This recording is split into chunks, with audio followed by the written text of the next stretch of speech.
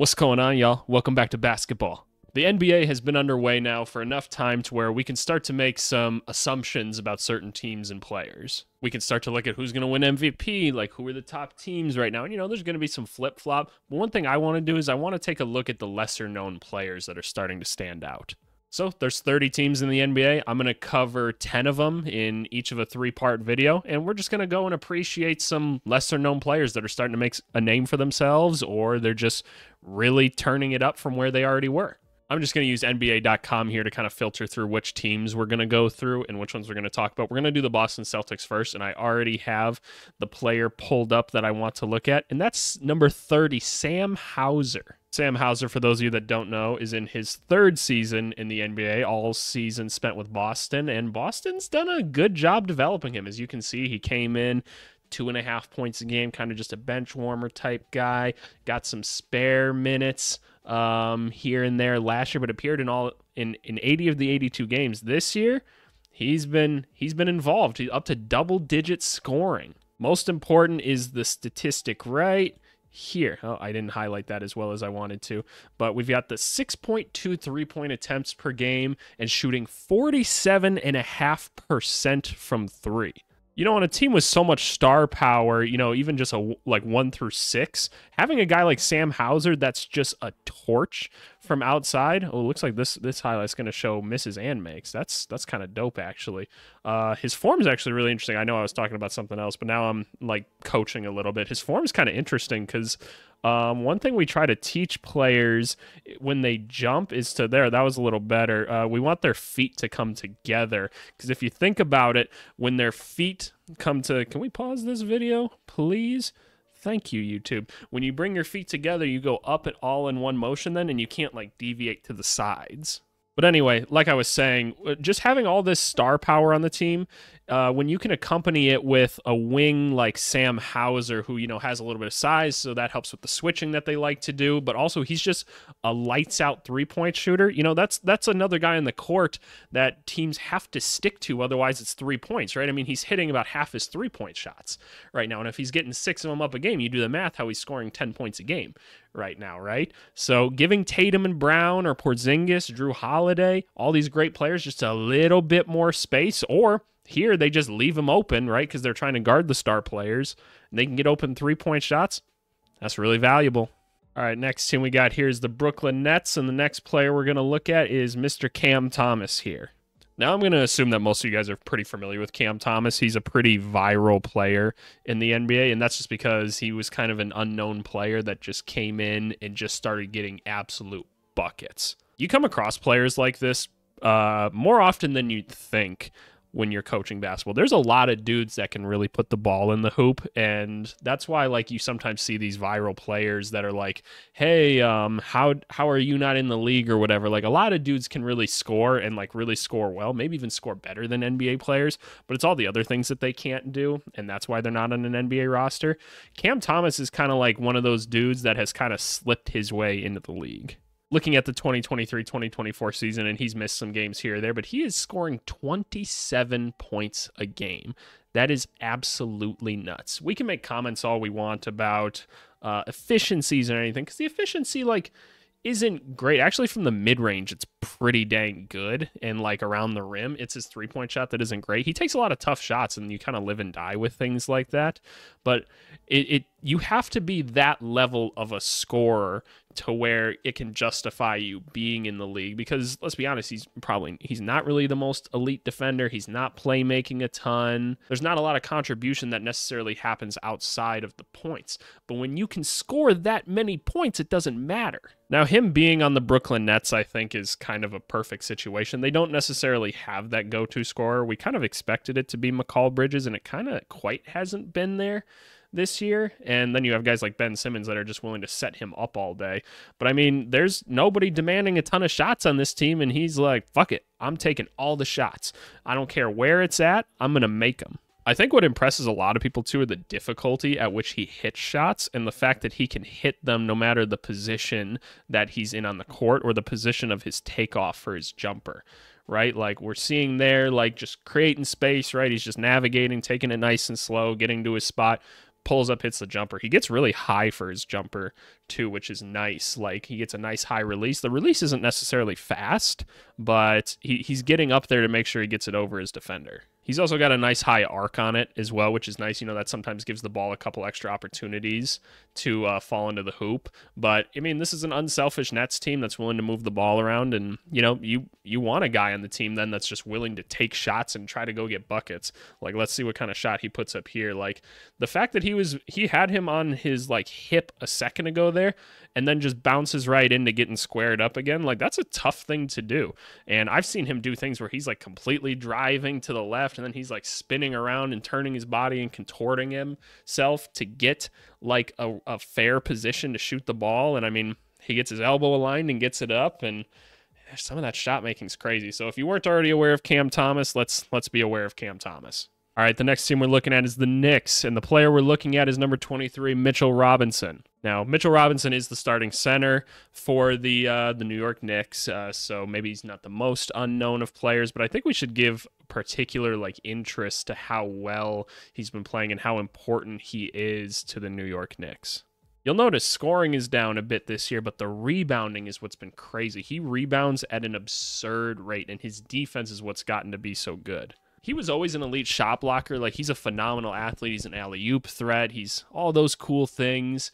But he was always such a foul problem before, and now that he's in what he's in year six already. That's that's crazy because he he didn't go to like college or anything. I want to say he was committed to Michigan at first, and then he was like, "Nah, I'm just gonna train and then go to the NBA or whatever. I don't want to do any of that school bullshit." Which fair enough, worked out for him.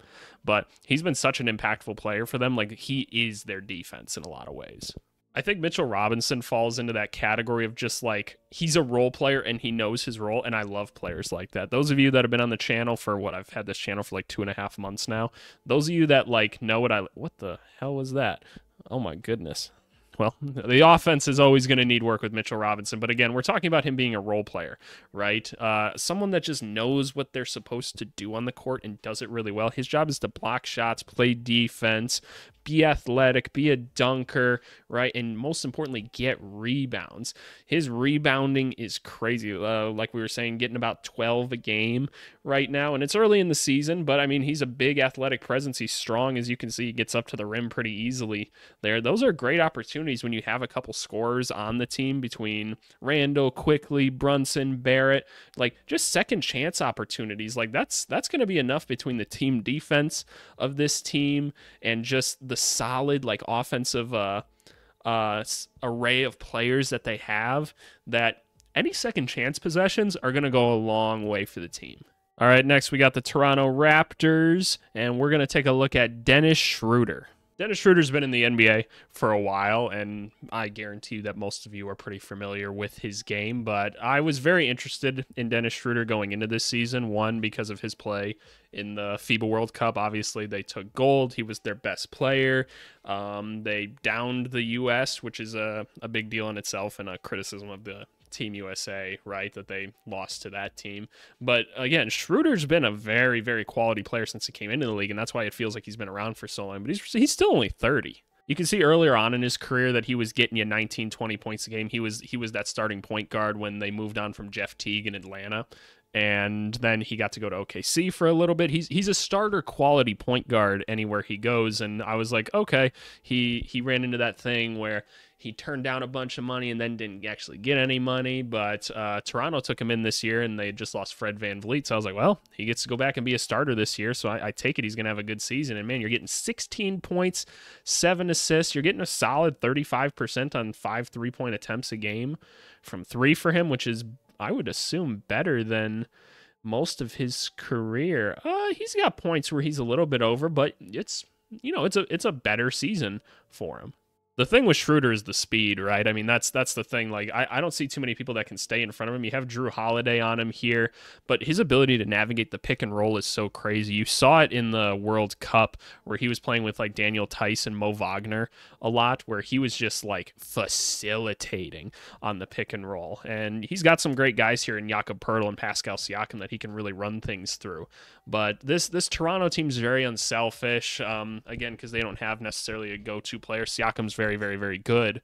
But at the end of the day, he's not necessarily a go to scorer type. He's kind of just a do everything basketball kind of guy. And I just think we should take some time to appreciate uh, Dennis Schroeder and the career that he's had up to this point. I mean, he's he's been on some really really good teams. He's been a solid contributor everywhere he went, and this year he's he's keeping Toronto alive. I believe they're at the time of recording this, they're in the playoff right now, or the play in, I should say, which I, I don't know what to think of this Toronto Raptors team. It's just it's so many like solid players, right? And Schroeder just fits right into that. But man, he he plays with confidence. He plays great defense. He's a great playmaker.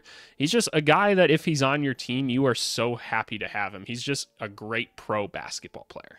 All right, the next team is my Chicago Bulls, and I'm not gonna lie, I had a tough one picking one here, but I'm gonna go with Jevon Carter. Jevon Carter's one of those dudes that just kind of snuck into the NBA, right? Like he was uh, he was a big time college player, so he's a little bit older coming into the league, but he snuck onto a roster. He just fought his way on, and now he's just like a staple NBA player. Like every team would like to have Jevon Carter. And while the Bulls don't seem to want to play him as much because they have a poorly constructed roster with like five point guards that they're trying to play in one rotation and like no wings on the team and stuff, uh, they don't like to play Jevon Carter. But I'm trying to make a case that he should play more.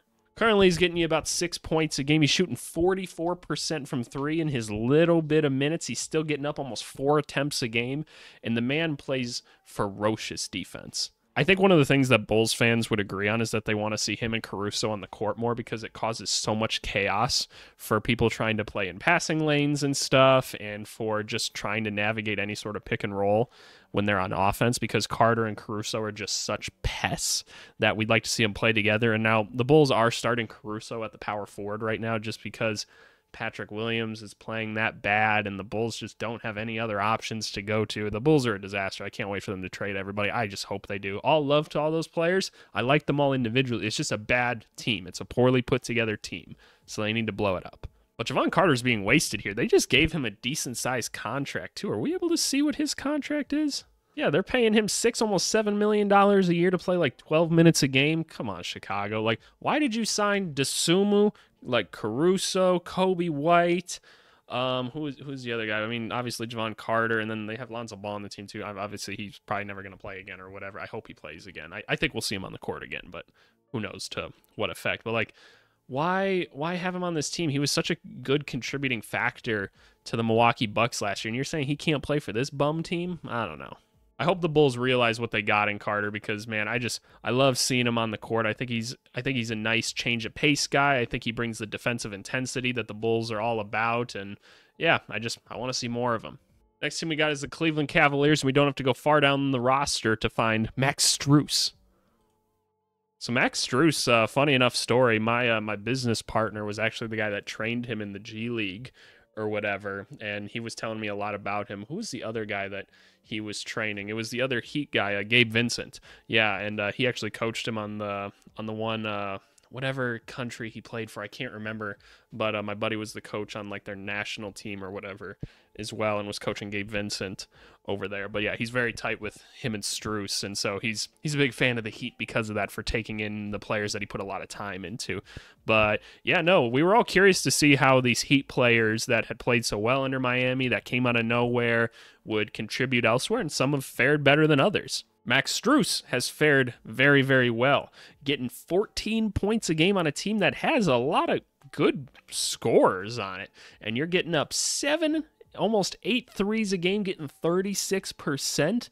That's nuts. What are his free throw attempts at? Yeah, I figured those were pretty low. But just being a spacer, right? The the Cleveland Cavaliers needed a wing so bad on this team, and they were like, fuck it, we're going with Strus. We're, we want Strus. Give us Strus and he has delivered for them. He gives spacing to Mitchell and to Garland and to Mobley and to Allen. It's the shooting wing that they needed. And he's had just like straight up eruptions of points too. I'm pretty sure this is his debut game with them this year. He had like 27 points in this one. I remember everyone on the fantasy foot on the fantasy basketball wire, excuse me, wanting to add him to the team. But man, his shooting form is just butter. I've got nothing bad to say about it whatsoever. And he's such a competitor out there on defense, too. A lot of it coming from those Miami Heat days. But notice how he just catch shoots. There's no second thought about it. He's just getting it up.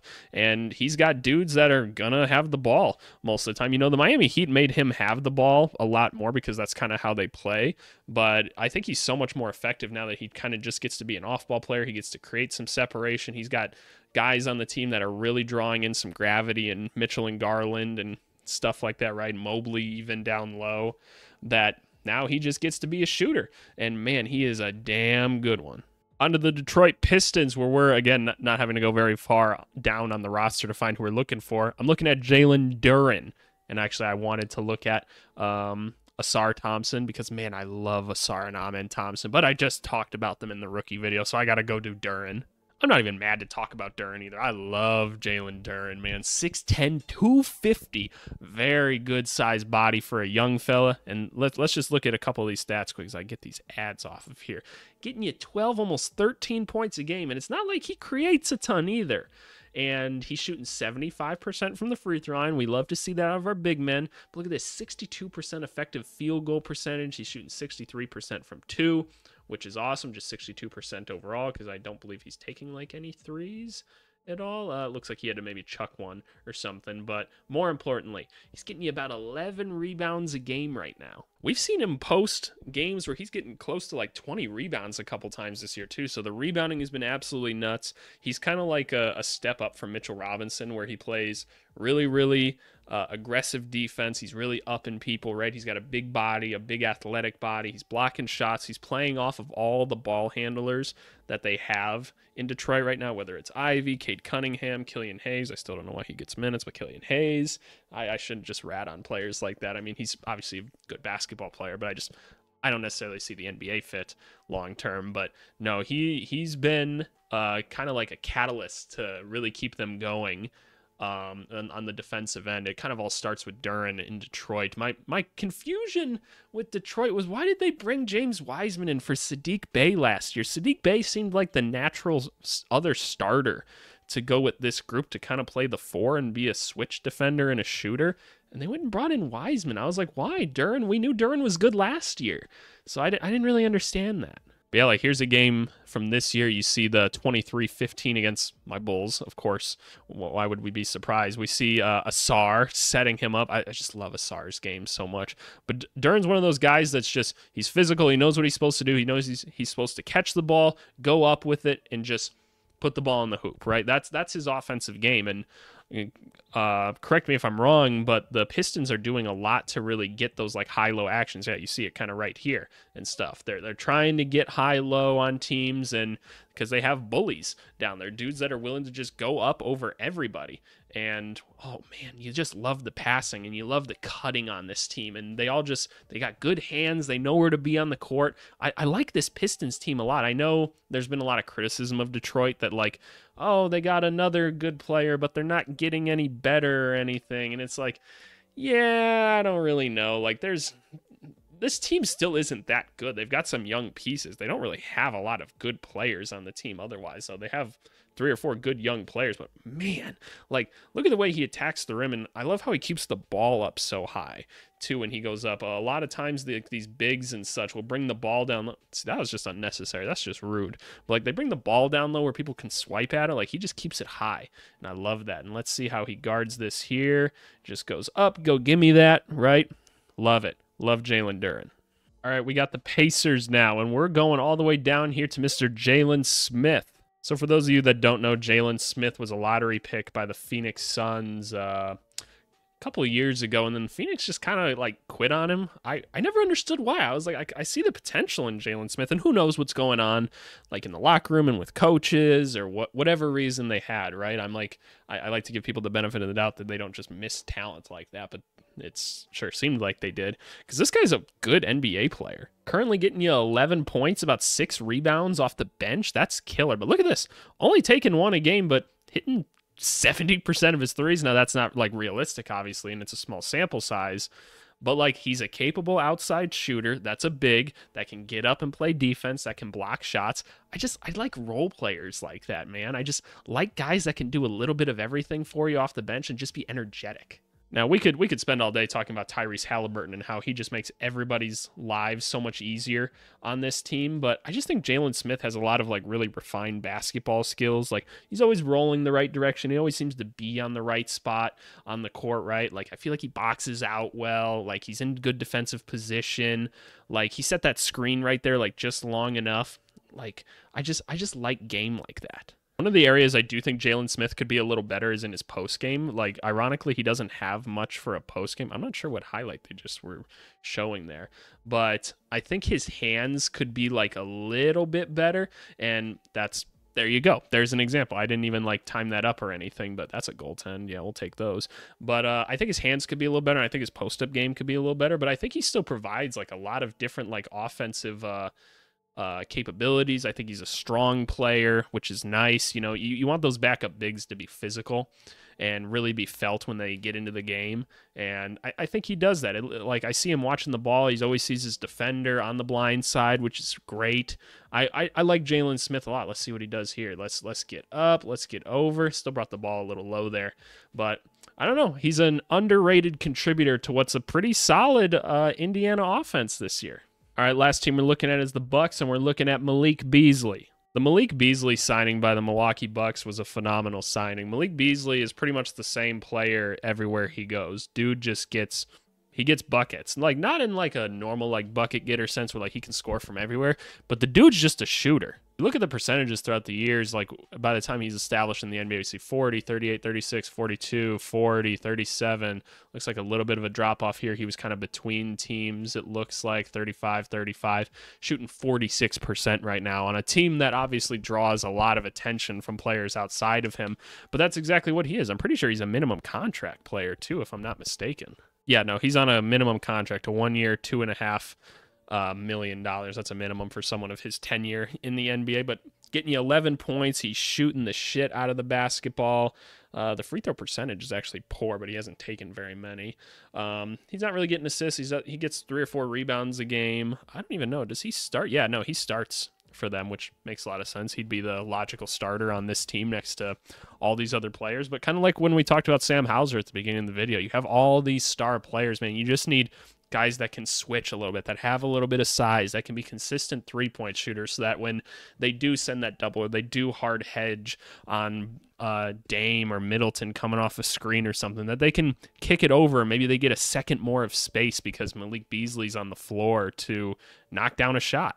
Malik Beasley's pretty cool too because he's one of those dudes that when he gets hot, he really starts to chuck. And like, look, he can put the ball on the floor a little bit, which is nice. Uh, his shooting form is very, very pure. He had that one season for Minnesota where I thought he was really going to explode for them, and then they just weren't really very good at managing that team. But you see how he goes out and gets the ball for that too. I love that. He's got a little bit of attitude to him. It's it's it's nice. You like that out of your shooters too. It's kind of like a wide receiver. You want him to be really confident, and he's just always in the right spot. He knows he's out there to go get buckets. Oh, look at that! He's talking some shit to the fans. Ooh, this was a couple days ago at the time of filming that he was doing this. I haven't like really watched these highlights. Like, look at him saucing Gradey Dick up. Gradey Dick's had a rough start to his career, but I think it's gonna be just fine. I just kind of want to watch this highlight a little bit. So Dame splits. He sees him in the corner again. Pat Connaughton hits him with a nice screen to make sure he stays open. Yeah, absolutely. He's still talking shit. Yeah, he said, Y'all better know my name. I'm not talking shit to Malik Beasley, man. That dude is a Oh, yeah, say some more to him. Oh, I thought he was going to say some more to him. Oh, you, y'all see that dude down there after he hit it? Look at this. Just down here. He said, Oh, damn. He really got our ass. He is cooking. Hey, hey.